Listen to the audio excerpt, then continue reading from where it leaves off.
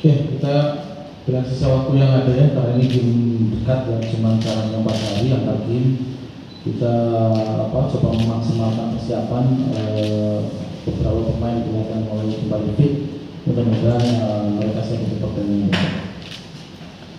Oke, untuk uh, Cekaibu, mungkin uh, di match terakhir uh, tidak bisa tampil karena akumulasi. Lalu sekarang sudah siap untuk tampil. Bagaimana kondisi uh, pemain saat ini dan bagaimana kondisi uh, mungkin mental di ruang ganti untuk menghadapi uh, Bali United besok? Tentunya tentunya segala persiapan yang sudah diberikan oleh tim pelatih itu di mana segala program yang sudah diberikan beberapa hari ini di mana kami mengikuti semuanya dengan baik kami optimis ya untuk pertandingan di esok hari untuk memperoleh kemenangan di hari ini dan itu akan membawa kembali semangat dan motivasi kami untuk menghadapi laga selanjutnya pertandingan selanjutnya. Sudah? Eh, pemain yang kemarin sempat absen terus sekarang sudah bisa kembali fit, cabang kemarin ini apakah nanti ada strategi khusus untuk eh, istilahnya mengel- mengeliminasi link serang dari? Iya, yang pasti kembali Ibu sudah ada di depan kita semua. Yang lain masih eh, kita analyze apakah mereka bisa available untuk di besok atau tidak itu juga sama kami, terutama yang cedera. Nah, untuk lawan Bali, eh, insya Allah kita akan memberikan surprise sama seperti ketika kita lawan Madura ya. Jadi bukan hal baru, kemarin kita juga lawan Madura, big games. Harapan saya saya yakin Bali datang ke sini tidak eh, seperti tim lain, eh, dia akan datang ke sini untuk eh, melakukan apa competing dan menyerang sehingga pertandingan apa lebih open dan terbuka. Kalau pertandingan terbuka rasanya kita punya chance lebih karena saya yakin para, para pemain akan sangat semangat untuk pertandingan besok. Oke, silakan. Ada lagi pertanyaan mungkin? Ya. di segmen dengan waktu yang singkat di segmen untuk uh, sektor penyerangan terlihat tiga pemain terlalu egois untuk menyelesaikan peluang untuk di Messi sendiri, uh, Jawa Hari, Rodriguez juga dengan waktu yang singkat itu kebenarannya seperti apa bisa kedua paling ini kemungkinan akan bermain tanpa Pace yang masih ada di lapangan. Jadi kebetulan tersebut atau Iya, kalau eh, persoalan egois saya rasa eh, kita kalau kita lihat chance kita kemarin kita create 10 compare dengan 4 jadi secara peluang kita lebih eh, unggul. Memang conversion rate-nya itu masih menjadi persoalan di kita.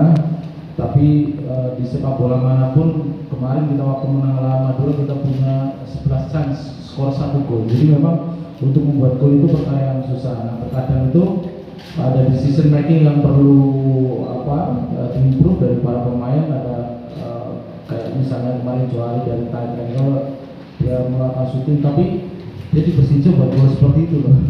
Jadi kadang-kadang memang eh, decision pemain itu terutama pemain eh, penyerang itu kadang-kadang eh, kelihatan egois tapi sometimes juga produce. Nah, saya cuma mau make sure bahwa eh, kita bekerja as a team, jadi bukan eh, individual. Kalau kita lihat peluangnya Taufik, eh, peluangnya siapa, eh, Sutanto itu juga kerja tim.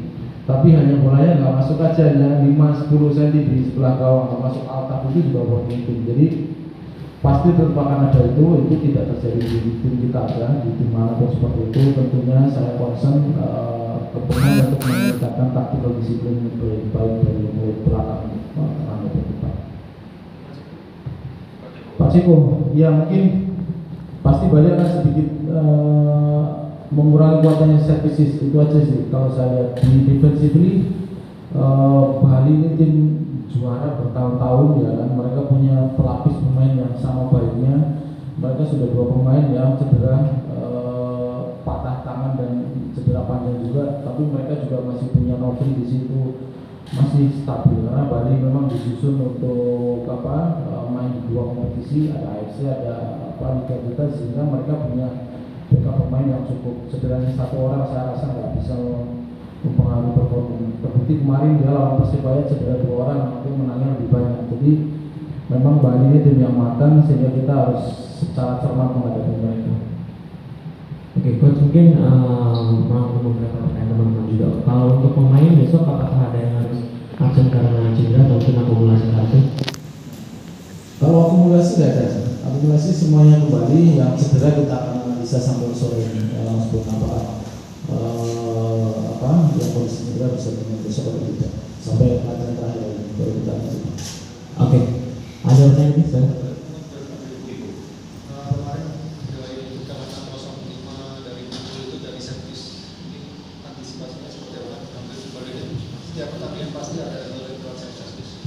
Ya, pastinya kami pemain akan selalu siap ya untuk menghadapi situasi seperti itu ya. Di mana juga kami sudah eh, menganalisis eh, video seperti apa mereka eh, bisa apa menyerang mau servis maupun defense maupun attack ya kami pastinya akan lebih siap lagi dari tim-tim sebelumnya untuk menghadapi situasi yang akan sama di pertandingan nanti.